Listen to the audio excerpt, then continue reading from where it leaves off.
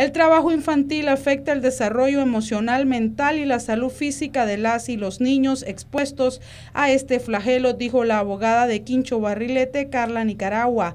Recordemos que en Nicaragua mayoritariamente la población, ¿verdad?, del 60% está compuesta de niños, niñas y adolescentes. Más o menos entre el 10 y el 12% de la población nicaragüense son niñas y niños.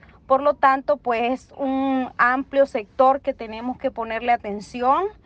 Eh, la eliminación del trabajo infantil es parte de los objetivos de desarrollo del milenio, ¿verdad? Que se espera se alcancen para el 2030. Es decir, que nos queda poco tiempo para cumplir con esa meta y vemos que en vez de disminuir los niños ejerciendo trabajo infantil, van en aumento. La crisis económica está arrastrando a muchos niños al trabajo en las calles, el cual está aumentando la pobreza en el país, dijo la abogada. Sabemos que la pandemia en la que estamos expuestos ha dejado a muchas personas sin empleo y que eso eh, obviamente los lleva a una pobreza extrema y a hacer uso, ¿verdad?, de los niños para poder subsistir.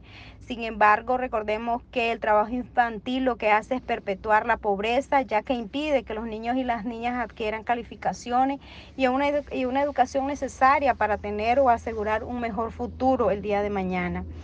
Eh, es por esto que las instituciones del Estado, el Ministerio de la Familia, la Procuraduría Nacional de Familia, ¿verdad? Y todos los entes encargados de la protección integral de los niños nicaragüenses deben de crear políticas públicas sólidas que impidan o reduzcan drásticamente eh, el trabajo infantil, sobre todo eh, erradicar, eh, digamos, la permanencia de los niños en las calles, limpiando vidrio, vendiendo cualquier tipo de alimentos o en el caso, ¿verdad?, de la mendicidad, porque recordemos que Nicaragua ha suscrito convenios internacionales y tiene leyes, digamos, en materia penal que castiga la exposición de personas al peligro y castiga la mendicidad como delitos. 12 Castalia Zapata.